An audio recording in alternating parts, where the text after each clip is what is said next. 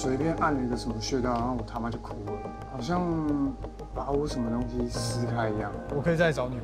下一次来的时候，把你以前的事情写下来，带给我。你是卡车司机啊？哎，呀，阿进啊，只要出趟夜车，我大大就就痛得厉害啊。